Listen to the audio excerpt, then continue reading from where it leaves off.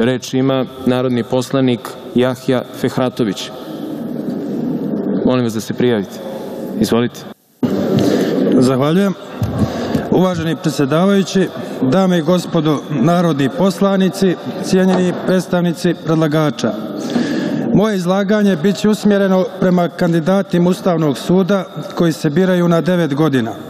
Ovaj pravosudni organ sa izuzetno velikim ovlastima u pogledu očuvanja Ustava i zakona, te u slučajevima odlučivanja po žalbama na odluke državnih organa, jedna je od najvažnijih instanci u kojima građani mogu potražiti prava koja im garantira Ustav ove države.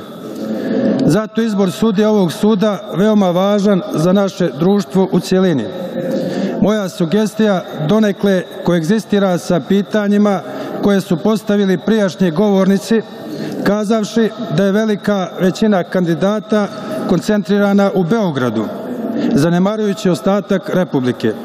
Ono što je veći problem od toga jeste da su skoro svi kandidati pripadnici većinskog naroda, da prijedlog ne održava sliku realnosti srbijanskog društva u kome i prema Ustavu žive i pripadnici drugih naroda, Bošnjaci, Albanci, Mađari, Slovaci i drugi. Kao poslanik biran većinom glasovima Bošnjaka obaveza mi je da iskažem nezadovoljstvo zbog toga što među predloženim kandidatima nema pripadnika mog naroda. To nije najbolja poruka prema Bošnjacima koji jako često svoja prava potražuju upravo pred ovom instancom, naročito iz oblasti zaštite kolektivnih i individualnih nacionalnih prava. Da je među kandidatima makar jedan predstavnik bošnjačkog naroda, to bi bio važan pomak i dobar korak u povraćanje povjerenja Bošnjaka u pravosudne organe ove države. Povraćaj povjerenja Bošnjaka u institucije države važan je preduvjet politike pomirenja za koju se zalažemo.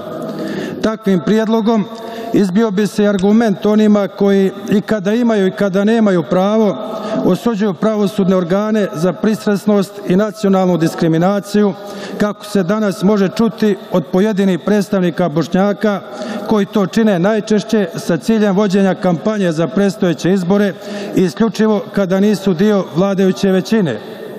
Dakle, riječ je o vrlo delikatnom pitanju i zato Bošnjačka demokratska zajednica Sandžaka insistira na ravnomjernoj zastupljenosti Bošnjaka i drugih manjinskih naroda u svim državnim institucijama, a posebno sudstvu, tužilaštvu, policiji, vojsci i državnoj upravi.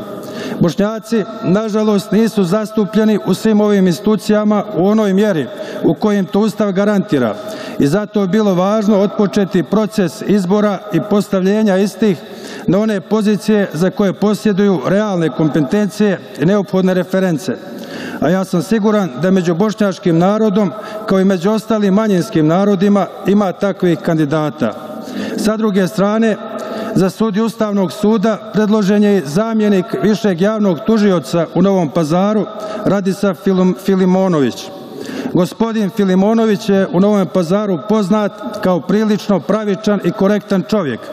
Naročito s takvim pokazao u periodu 90. godina kada je ova multietička sredina bila pod terorom policije, sudstva i tužilaštva.